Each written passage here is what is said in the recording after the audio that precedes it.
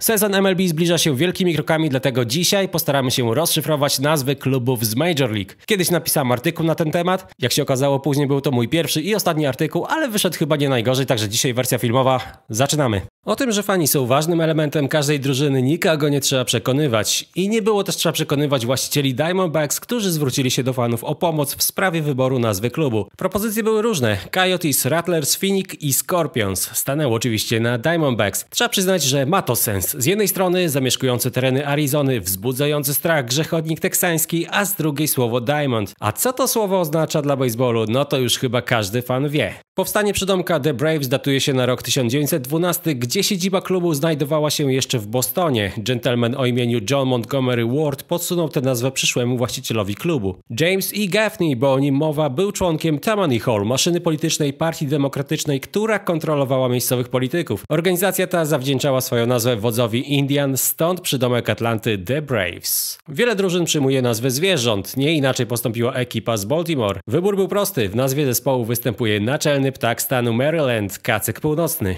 Czyż nie piękny wybór? Na początku XX wieku w lidze występowały dwie drużyny z Bostonu. Jedna grała w American League, a druga w National League. Drużyna z American League nie miała swojej oficjalnej nazwy. Nazywani byli Americans z racji gry w American League. W momencie, kiedy druga drużyna z Bostonu zdecydowała się nosić białe getry, właściciel Americans John Irving Taylor pozazdrościł tego pomysłu i dla równowagi zdecydował, że jego zespół będzie występować w czerwonych getrach. Nowe getry, nowa nazwa klubu. Tak w skrócie można to opisać.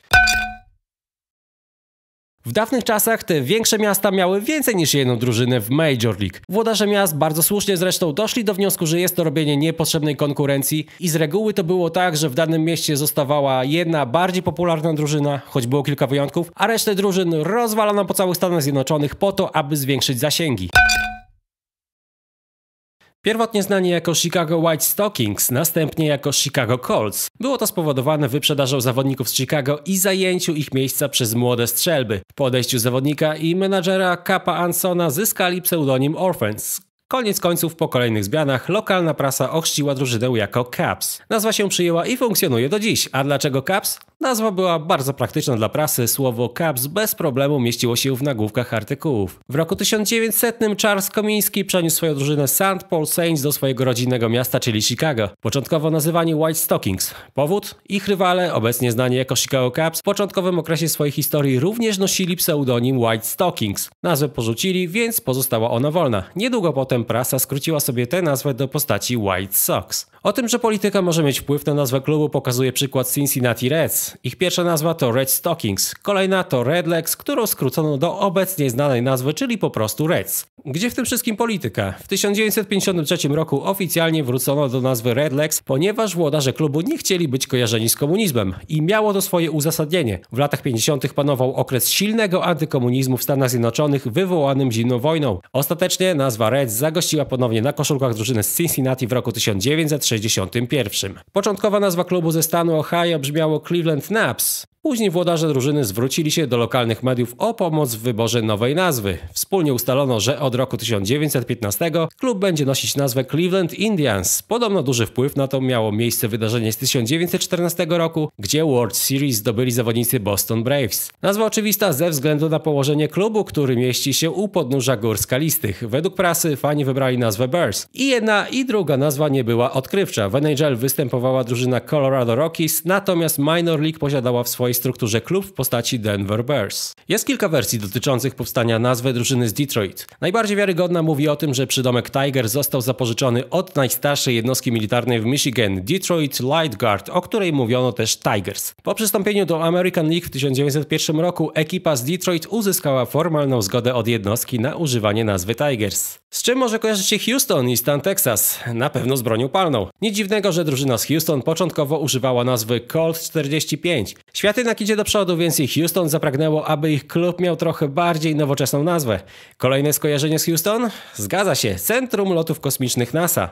Astro to z greki gwiazda, więc wszystko do siebie pasuje. Jak zwykle z pomocą przyszli fani. W konkursie na nową nazwę klubu zgłoszono ponad 15 tysięcy propozycji. Wybrano Royals. Co roku organizowano tam American Royal Livestock Show, co przyczyniło się do decyzji o nazwaniu klubu Kansas City Royals. Tu jest zakręcona historia. Początkowo Los Angeles Angels. Przewidując przeprowadzkę do Anaheim, zmieniono nazwę na California Angels. Od 1997 roku Anaheim Angels. W 2005 roku właściciel chciał wrócić do pierwotnej nazwy, czyli Los Angeles Angels, ale wywołało to sporo kontrowersji. Stanęło na tym, że klub będzie nosił nazwę Los Angeles Angels of Anaheim. Ostatecznie od roku 2016 możemy oglądać na ekranach telewizorów drużynę o nazwie Los Angeles Angels. Aby zrozumieć genezę powstania Dodgersów trzeba cofnąć się do roku 1890. W mieście Brooklyn powstała rozległa sieć tramwajowa. Mieszkańcy, którzy nie byli przyzwyczajeni do takich innowacji, uciekali w popłochu przed rozpędzonymi tramwajami. Lokalna prasa ochrzciła ich jako Trolley Dodgers. Tak też powstała drużyna Brooklyn Trolley Dodgers. Nazwa została skrócona do Dodgers, siedziba została przeniesiona do Los Angeles, w wyniku czego dziś na boisku oglądamy Los Angeles Dodgers. Tutaj króciutka historia. Przydomek Marlins został zapożyczony od drużyny Minor League. Pochodzi on od dużej ryby, która została znaleziona u wybrzeży Florydy. Najbardziej znane amerykańskie piwo? Prawdopodobnie Miller. Miller Brewing Company to duma USA, duma Milwaukee. Chyba nic więcej nie trzeba dodawać. Dwa największe miasta stanu Minnesota to Minneapolis i St. Paul, które przecina rzeka Mississippi. Od dziesięcioleci nazywane są Twin Cities. Kiedy Washington Senators miał zostać przeniesiony do stanu Minnesota, oba miasta mocno walczyły o to, do kogo będzie należeć klub. Zdecydowano się na nazwę Minnesota Twins, co było ukłonem w stronę obu miast. Jest to również pierwszy przypadek, gdzie nazwa klubu wskazuje na cały stan. Przedstawiciele klubu poprosili fanów, aby pomogli im wybrać nazwę spośród 10 propozycji. To jest Avengers, Bees, Barrows, Continentals, Jets, Mets, New YBS, Rebels, Skyliners i Skyscrapers. Bezapelacyjnie wygrał przydomek Mets. Co ciekawe, drugie i trzecie miejsce zajęły takie nazwy jak Empires i Islanders, które nie były wśród oferowanych propozycji. Mówi się, że wybrano Mets z dwóch powodów. Po pierwsze, tak jak w przypadku Chicago Cubs, nazwa była krótka i zwięzła, co ułatwiało pracę nowojorskiej prasie. Drugi powód to hołd złożony New York Metropolitans,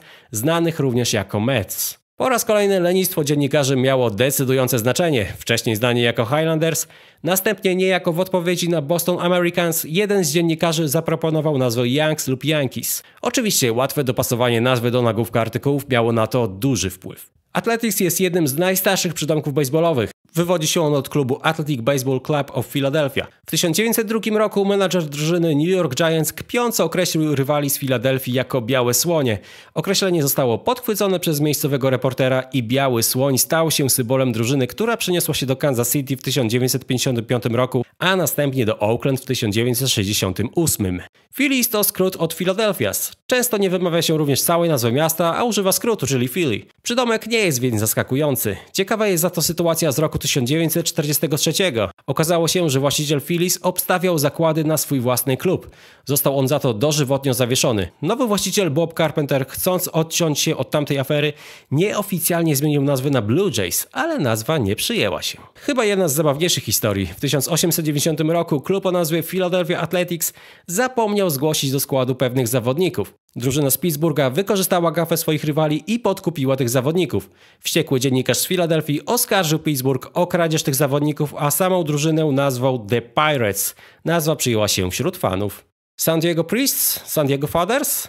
Tak brzmiałaby zapewne nazwa klubu po angielsku. Główną inspirację odegrali tutaj księża, po hiszpańsku Padres, którzy byli zrzeszeni przy kościele katolickim Basilica San Diego de Alcala. W XIX wieku w National League występowała drużyna New York Gothams. Po jednym z fantastycznych zwycięstw menadżer drużyny z Nowego Jorku powiedział o swoich zawodnikach My Big Fellows, My Giants. Nazwa przyjęła się bardzo szybko, drużyna przeniosła się do San Francisco i występuje jako San Francisco Giants. Nazwa wydaje się być oczywista. Seattle jest bardzo ważnym morskim portem towarowym w handlu z Azją. W każdym razie w roku 1976 ogłoszony został konkurs na nazwę klubu. Przesłano ponad 600 propozycji, wiele z nich to było właśnie Mariners. Zwycięzca konkursu Roger Schmodis tak argumentował swój wybór. Wybrałem nazwę Mariners ze względu na naturalną więź między morzem, Seattle i jego mieszkańcami. Roger w nagrodę otrzymał dwa bilety na każdy mecz Mariners w sezonie 77. W roku 1899 St. Louis Browns stali się St. Louis Perfectos. Willie McHale, który był felietonistą St. Louis Republic,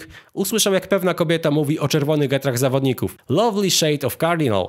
Redaktor umieścił ten przydomek w swojej gazecie i z miejsca stał się hitem wśród fanów. Zespół oficjalnie zmienił swoją nazwę na St. Louis Cardinals w 1900 roku. W 1995 roku spośród 7 tysięcy sugestii dotyczących nazwy klubu właściciel Tampa Bay wybrał Tampa Bay Devil Race. Niestety nie spodobało się to chrześcijańskiej części społeczeństwa Tampy. Właściciel podobno chciał zmienić nazwę na Stingrays, jednak ta nazwa była zarezerwowana zespołowi Hawaiian Winter League. Koniec końców, po paśmie niepowodzeń, klub zmienił nazwę na Tampa Bay Race. Klątwa diabła widocznie ustąpiła, bo w roku 2008 drużyna wystąpiła w World Series, gdzie jednak musiała uznać wyższość rywali z Filadelfii. Klub powstał w Waszyngtonie jako Washington Senators. W 1972 roku przeniesiony do Arlington w stanie Texas. Nazwa klubu miała być bardziej lokalna, związana z regionem i zdecydowano się na Rangers. Inspiracją była oczywiście elitarna jednostka policyjna Texas Rangers, których motto brzmi One Riot, One Ranger. Kolejny raz fani w akcji. W konkursie nadesłano ponad 30 tysięcy zgłoszeń, wyłoniono 10 finalistów. Wynik? Oczywiście Blue Jays, czyli modrosójka błękitna. Powód? Ptak z Ameryki Północnej jest silny, agresywny i oczywiście świetnie się prezentuje. Pierwotna siedziba drużyny to Montreal w Kanadzie. Klub nazywał się Montreal Expos. Przeniesiony został do Waszyngtonu w 2005 roku i zmienił nazwę na Washington Nationals. Warto wspomnieć, że w stolicy USA występował już klub o nazwie Nationals albo Senators, bo nazwa zmieniała się na przestrzeni lat. Nowa drużyna miała przejąć którąś z tych dwóch nazw i padło na Nationals. Dlaczego? Prezydent Anton Williams powiedział, że dużym nietaktem byłoby nazwanie drużyny Senators, podczas gdy Waszyngton nie ma w kongresie USA żadnego senatora. Serdeczne dzięki za uwagę, a już od najbliższego poniedziałku ruszamy ze skarbem kibica, a tym razem zaczniemy od National League. Pozdrawiam serdecznie, do usłyszenia, cześć!